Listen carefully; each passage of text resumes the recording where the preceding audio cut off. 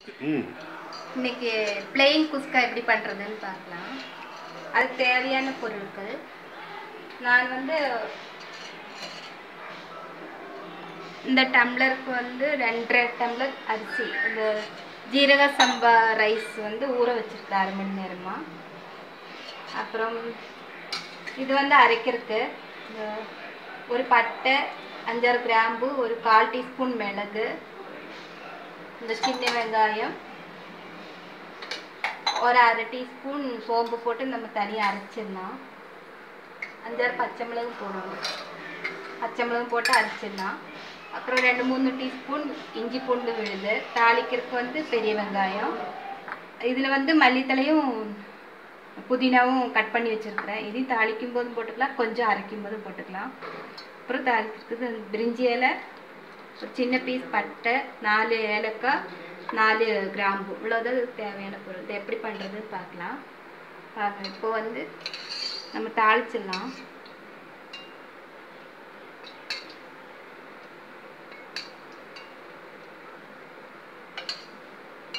ஒரு நாலு கரண்டி எண்ணெய் ஊற்றிருக்கிறேன்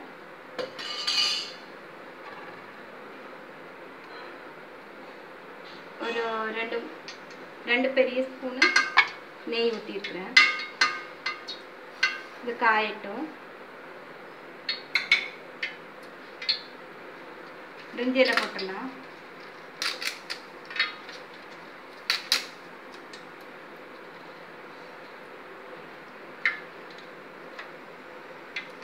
ஏலக்காய் கிராம்பு போட்டிருக்கேன்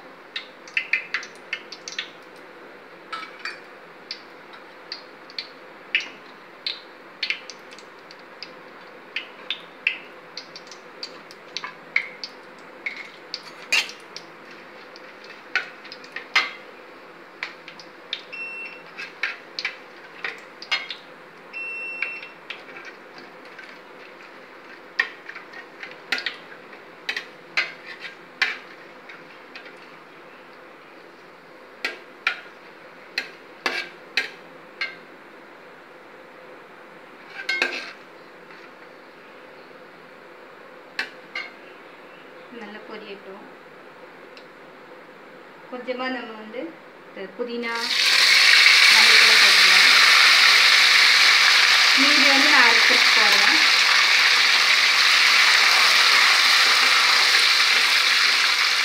இப்போ இதில் வந்து ஒரு நாலு ஸ்பூன் இஞ்சி பூண்டு பேஸ்ட்டு போடுறேன்.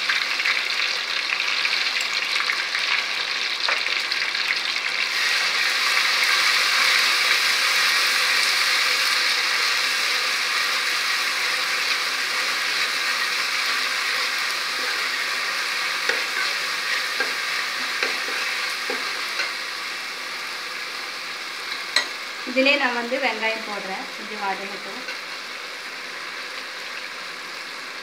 ஒரு வெங்காயம் தான் நான் அரைச்சி வச்சுருக்கேன். ஏன்னா நம்ம அரைக்க போகிறோம் அரைச்சி போட்டுடலாம்.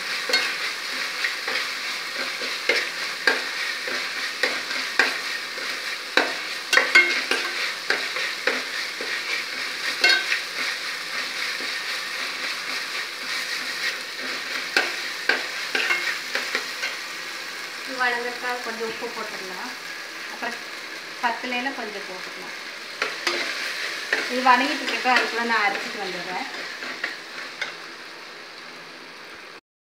அரைச்சது விழுதில் வந்து சின்ன வெங்காயம் ஒரு பெரிய வெங்காயம் ஒரு அஞ்சாறு சிறிய சின்ன வெங்காயம் பெரிய வெங்காயம் நாலு பச்சை மிளகாய் ஒரு டீஸ்பூன் சோம்பு அப்புறம் வந்து ஒரு ஒரு டீஸ்பூன் மல்லித்தூள் போட்டு அரைச்சிருக்கிறேன்.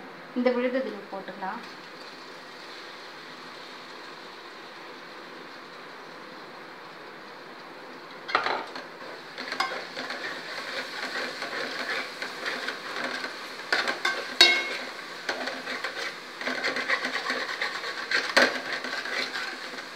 இந்த பச்சை போட்டோம். இந்த பக்கம் வந்து நான் அரிசிக்கு தேவையான தண்ணி கொதிக்க வச்சுருக்கிறேன். கொதி கொதிச்சு தண்ணி ஊற்றினோம்னா குழையாது. அரிசி வந்து குழையாமல் உதிரி உதிரியாக வந்துடும் இப்போ நான் இதில் ஒரு ரெண்டு டம்ளர் ரெண்டரை டம்ளர் அரிசி எடுத்ததுக்கு அஞ்சு டம்ளர் தண்ணி வச்சுருக்குறேன்.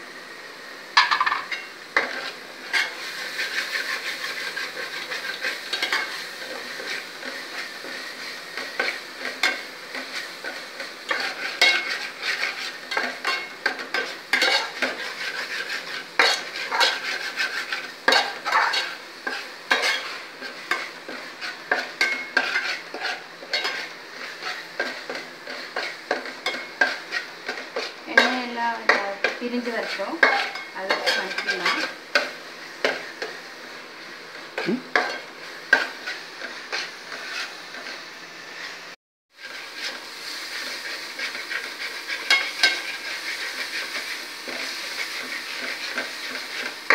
மணவெந்த அரிசி போட்டலாம் எண்ணெய் பிரிஞ்சு வந்துச்சு நல்லா மசாலாலாம் நல்லா வெந்துச்சு அரிசியை போட்டுடலாம்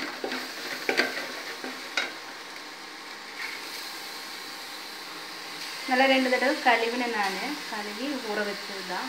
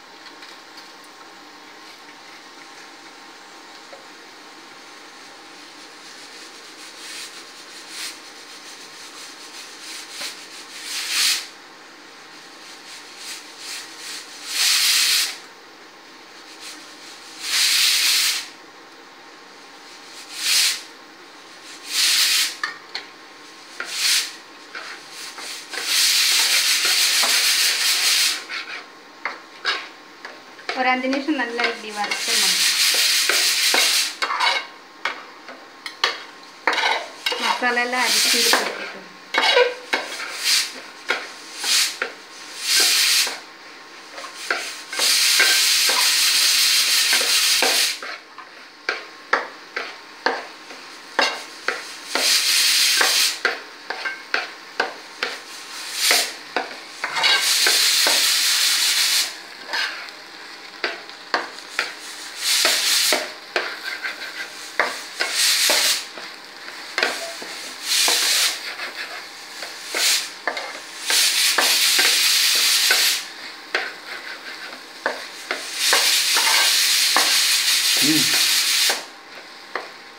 இப்போ இதில் வந்து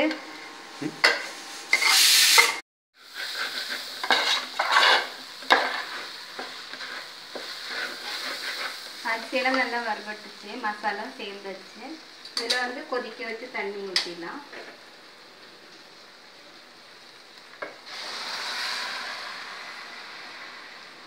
நான் அளந்து தான் ஊற்றிருக்கேன்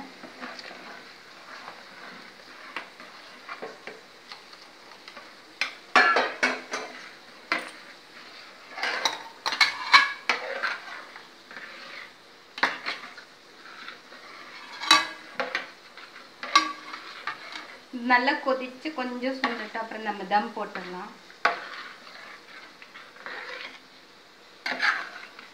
கொஞ்சம் கொதிக்கட்டும்.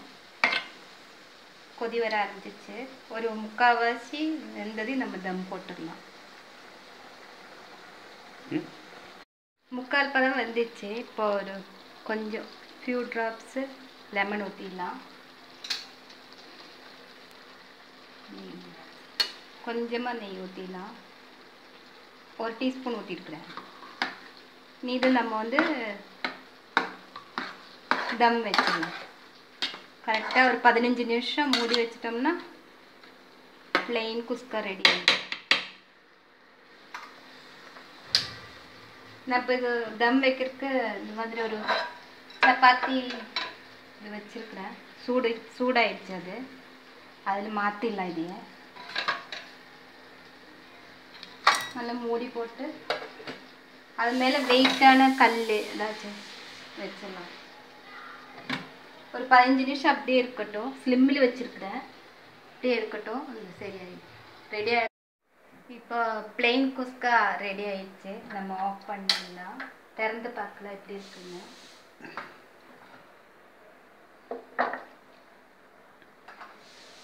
சூடாக இருக்கும். பாருங்க நல்லா வந்துருச்சு. இப்போ கொஞ்சம் நெய் ஊற்றிட்டு இந்த புதினா வந்து போட்டுடலாம். புதினா மதியத்தில் போட்டிருக்கிறேன். கொஞ்சமாக நெய் ஊற்றிடலாம் கிளறிடலாம். பாருங்க உதிரி உதிரியாக வந்துருச்சு பாருங்க.